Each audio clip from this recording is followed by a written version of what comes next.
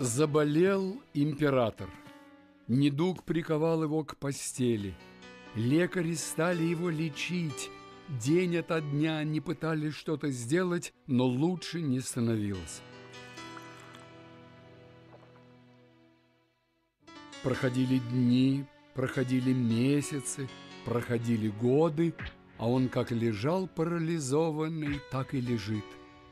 Сколько государств он покорил, какие народы поставил на колени. Завоевав полмира, он оказался бессильным перед болезнью. Однажды от беспомощности он пришел в ярость всем лекарям, которые не смогли меня вылечить, отрубите головы и сложите их на городской стене. И вскоре Километры стен побелели от иссушенных черепов ученых мужей. Однажды император позвал своего главного визиря. «Визирь, где твои лекари?» «О мой повелитель, их больше нет. Вы же сами приказали казнить их».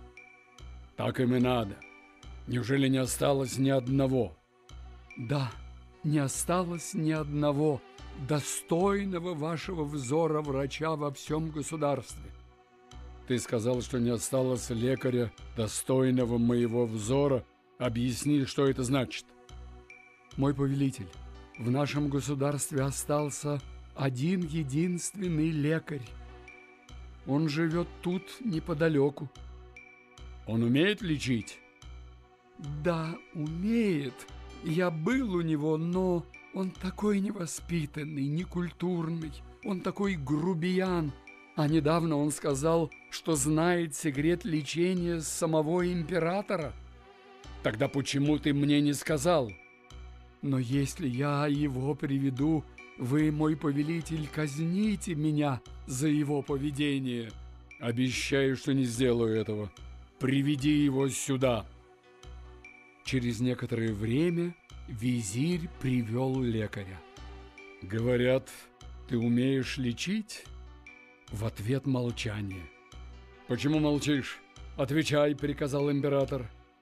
Мой повелитель, я запретил ему открывать рот, сказал визирь. Говори, разрешаю. Что, неужели твоих способностей хватит, чтобы меня вылечить? Ты можешь усомниться в моих способностях по управлению государством, потому что ты император. Но почему ты своим государственным умом лезешь в медицину? Как ты можешь разбираться там? За все время правления императора никто ни разу не осмелился хоть в чем-то ему перечить, и тем более разговаривать с ним таким дерзким тоном – «Стража!» — яростно заревел император. «Отрубите ему голову! Нет! Сначала посадите его на кол, потом облейте кипящим маслом, а потом разрубите его на мелкие кусочки!» Стража схватила лекаря и приготовилась его казнить. А он, глядя на императора, с издевкой сказал «Эй, я твоя последняя надежда!» Ты можешь меня убить, но кроме меня не осталось никого, кто смог бы тебя вылечить. А я могу сегодня же поставить тебя на ноги. Император сразу остыл. Отпустите его. Лекаря отпустили.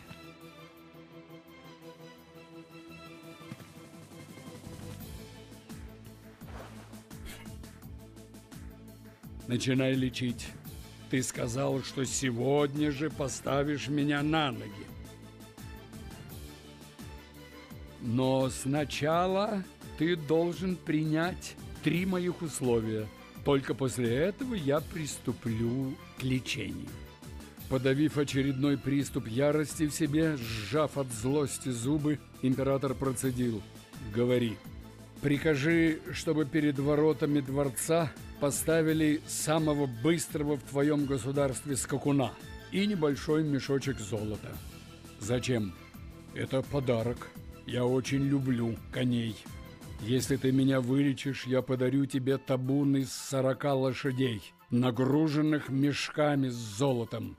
А это потом, потом, следом отправишь. Второе мое условие, чтобы во время лечения никого не осталось во дворце. А это еще зачем? Во время лечения тебе может быть больно. Ты будешь кричать, чтобы никто не видел тебя слабым. Хорошо. Что еще? Третье. Чтобы твои слуги под страхом смерти не приходили на зов и только через час приступили к исполнению твоих приказаний. Объясни. Они могут помешать мне, и лечение не будет доведено до конца. Император принял условия лекаря и велел всем уйти из дворца.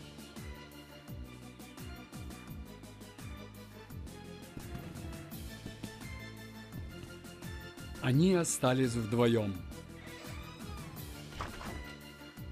«Начинай», — сказал император.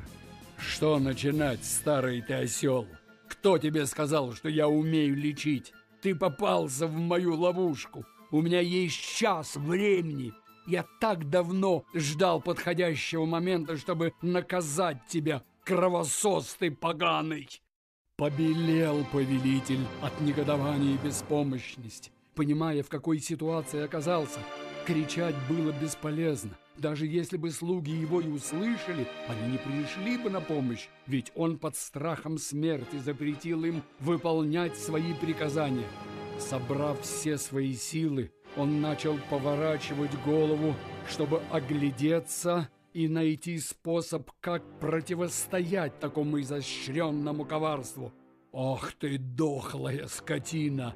«Ты еще шевелишься?» — сказал лекарь и пнул его ногой. Император получил удар и почувствовал боль.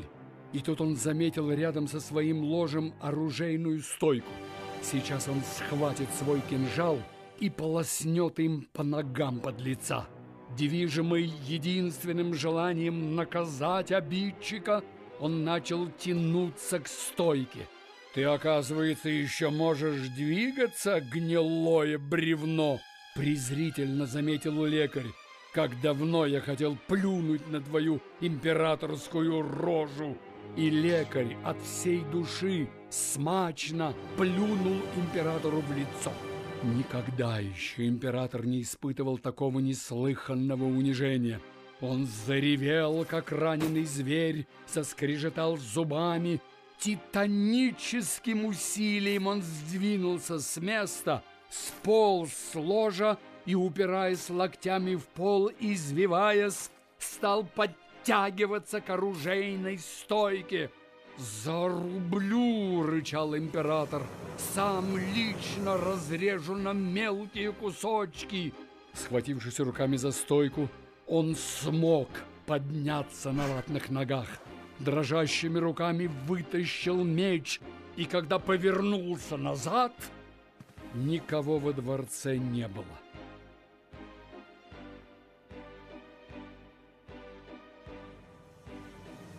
Он еле доплелся до крыльца.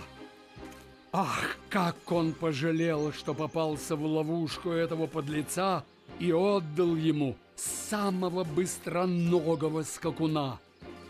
Поняв, что через час самозванца уже никто не догонит, с трудом подошел к первому попавшемуся коню, попытался подняться в седло, но силы не те, силы не те. Он зубами схватился за гриву, подтянулся на слабых руках и сел в седло. И тут в нем проснулся дух великого воина — Проснулся дух великого повелителя, проснулся дух великого полководца. «Где он?» — закричал император стоящему у ворот городской стены стражнику.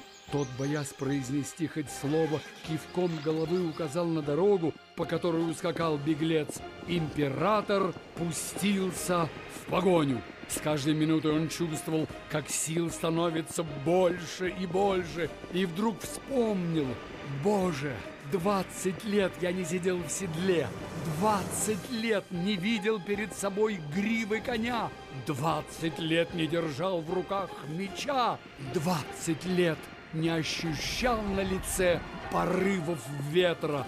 Вдруг он услышал за спиной давно забытые звуки. Топот копыт и восторженные крики приближались. Сотни его полководцев скакали вслед за ним на лошадях, обнажив мечи и крича «Да здравствует император!» Когда они доскакали до него, то увидели, что тот валяется в дорожной пыли, дрыгая руками и ногами, еле дыша от безудержного хохота. «Ах ты, лекарь! Ах ты, хитрец! Заслужил ты свой караван золота!»